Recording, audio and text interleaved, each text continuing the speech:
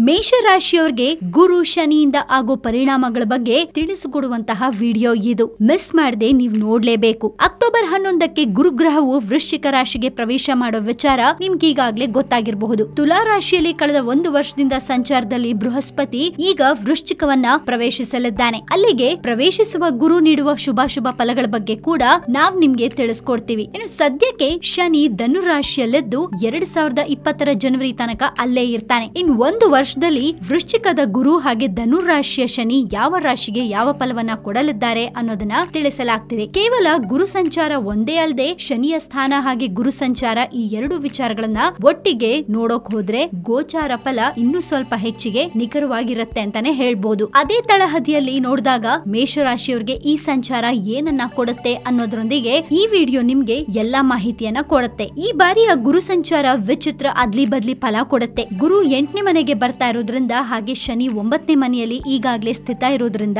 ವಿಚಿತ್ರ ಅದ್ಲಿ ಬದ್ಲಿ ಅಂತ ಹೇಳಲಾಗುತ್ತೆ. ಇಷ್ಟು ದಿನ ನಿಮ್ಗೆ ಬಹಳ ಸಹಕಾರಿಯಾಗಿ ಮಾರ್ಗದರ್ಶಕರಾಗಿ ಇದ್ದ ಹಿರಿಯರು ನಿಮ್ಮನ್ನ ಹಾಗೆ ನಿಮ್ಮ ನಡೆಯನ್ನ ವಿರೋಧಿಸ್ತಾರೆ. ಇಷ್ಟು ದಿನ ನಿಮ್ಮ ಶತ್ರು ಅಥವಾ ನಿಮ್ಮ ವಿರೋಧಿ ಅಂತ ಯಾರನ್ನ ಅಂದ್ಕೊಂಡಿದ್ರು ಅವರೇ ನಿಮ್ಮ ಮಿತ್ರರಂತೆ ವರ್ತಿಸ್ತಾರೆ. ಅನುಕೂಲ ಮಾಡ್ಕೊಡೋಕೆ ಶುರು ಮಾಡ್ತಾರೆ. ಒಟ್ನಲ್ಲಿ ನೀವೊಂಥರ ಗೊಂದಲದ ವಾತಾವರಣದಲ್ಲಿ ಸಿಲುಕ್ತೀರಾ ಅಂತಾನೆ ಹೇಳ್ಬೋದು. ಒಂದು ವರ್ಷದಿಂದ ಸಪ್ತಮದಲ್ಲಿ ಗುರು ಇದ್ದು ಪೂರ್ಣ ಗುರುಬಲ ಲಭಿಸಿ ಉತ್ತಮ ಮಾರ್ಗದರ್ಶಕರಿಂದ ಮಾರ್ಗದರ್ಶನ ಪಡೆದು ಎಲ್ಲಾ ವಿಧದ ಸಮಸ್ಯೆಗಳಿಂದ ನಿರಾಯಾಸವಾಗಿ ಪಾರಾಗ್ತಿದ್ದ ನಿಮ್ಗೆ ಇನ್ನು ಸದ್ಯ ಒಂದು ವರ್ಷ ಕಾಲ ಆ ಸೌಭಾಗ್ಯ ಇಲ್ಲ. ನಿಮ್ಮ ರಾಶಿಯಿಂದ ಗುರು ಎಂಟನೇ ಮನೆಗೆ ಪ್ರವೇಶ ಆಗ್ತಾ ಇರೋದ್ರಿಂದ ಹಲವಾರು ವಿಚಾರಗಳಲ್ಲಿ ಎಚ್ಚರಿಕೆಯಿಂದ ಇರಬೇಕಾಗತ್ತೆ. ಅದರಲ್ಲಿ ಪ್ರಮುಖವಾಗಿ ಆರೋಗ್ಯ. ಇನ್ ಒಂದು ವರ್ಷ ಕಾಲ ನೀವು ಆರೋಗ್ಯವನ್ನ ಬಹಳ ಜೋಪಾನವಾಗಿ ನೋಡ್ಕೋಬೇಕು. ಅದರಲ್ಲೂ ಅಸಿಡಿಟಿ ಗ್ಯಾಸ್ಟ್ರಿಕ್ ಅಜೀರ್ಣ ಮುಂತಾದ ಸಮಸ್ಯೆ ಇದ್ದಲ್ಲಿ ನಿಮ್ಮ ಆಹಾರ ಪದ್ಧತಿ ಸರಿ ಮಾಡ್ಕೋಬೇಕಾಗತ್ತೆ. ಇನ್ನು ಅತಿ ಅನಿವಾರ್ಯ ಇಲ್ಲದೆ ಇದ್ರೆ ದೂರ ಪ್ರಯಾಣಗಳನ್ನ ಬಿಟ್ಬಿಡಿ. ನಿಮ್ಗೆ ರೂಢಿ ಇಲ್ಲದ ಹವಾಮಾನ ಇರೋ ಸ್ಥಳಗಳಿಗೆ ಭೇಟಿ ಕೊಡಬೇಡಿ ಬಡತನ ನಿಮ್ಗೆ ಕಾಡಬಹುದು. ಕೈಯಲ್ಲಿ ಈ ಹಿಂದಿನಂತೆ ಹೆಚ್ಚು ದುಡ್ಡು ಓಡಾಡೋದಿಲ್ಲ.